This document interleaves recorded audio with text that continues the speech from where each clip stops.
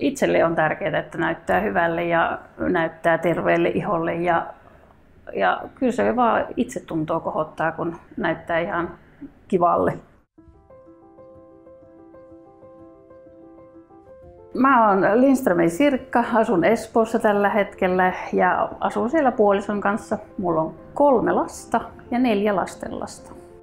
Joo, kyllä mä aina on, niin kun, muut on mennyt mun edelle, että mä aina, varsinkin tietysti lapset ja lapsenlapset, niin ne menee aina edelle, että jos, jos ne vaan jotain tarvii apua, niin mä vaikka perun omia juttuja tai jotain, mutta että nyt onneksi tuli tällainen, että kyllä itseenkin saa satsata ja, ja kannatti kyllä.